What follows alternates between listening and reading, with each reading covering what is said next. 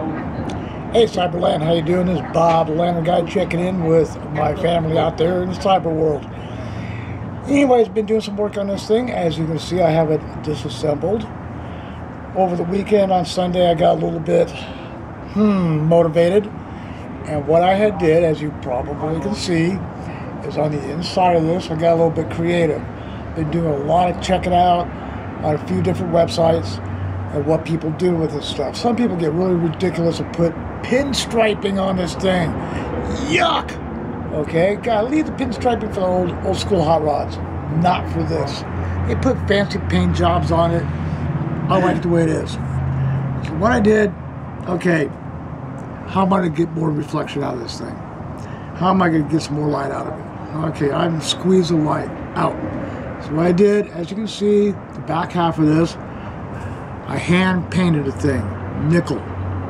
Rust-Oleum nickel is the kind of paint, the nickel is the color. I might change it over to uh, metallic silver. So, okay, kicked out some good light. Now, I want more light. I'm greedy. I'm a greedy son of a gun.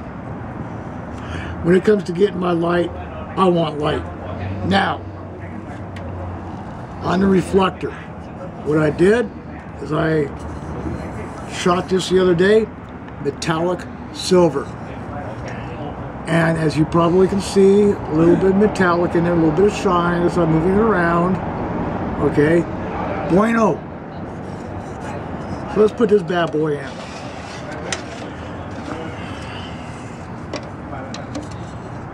Right in place, snaps right on in. When I had this thing all, all apart, I noticed right down in where the burner goes, there's a baffle in there. Baffle prevents or slows down the kerosene from slopping around and coming out. I, wow, another bueno. So, here's the burner now. On the burner, did the half moon, okay? Kicks out some really nice little flame now. I take this bad boy, you want to cooperate. Ah, it's not cooperating like the owner. Owner doesn't. There we go. Okay. Got the burner in place. Now we got the burner cover. Going one way for it to go on. That's the wrong way. It's either the right way or the highway. Put it in place. Give it a little turn locks in. Bueno. Now I got the globe base. Globe base hooks in.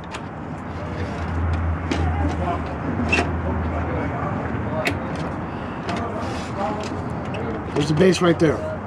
Another bueno. Oh boy. I cannot drop this. This is the globe. Now, lower it put the globe in, lift up the handle, like so.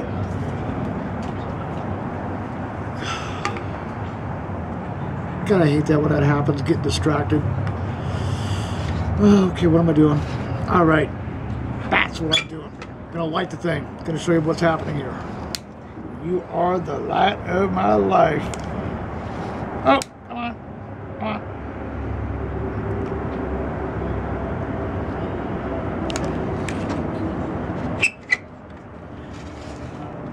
Voila. That's simple. Okay? Like it when things come together so nice and simple. This is the Acme Inspector made by Dietz in New York, New York. Y'all have yourself a fantastic day there, Cyberland. Thank you for watching.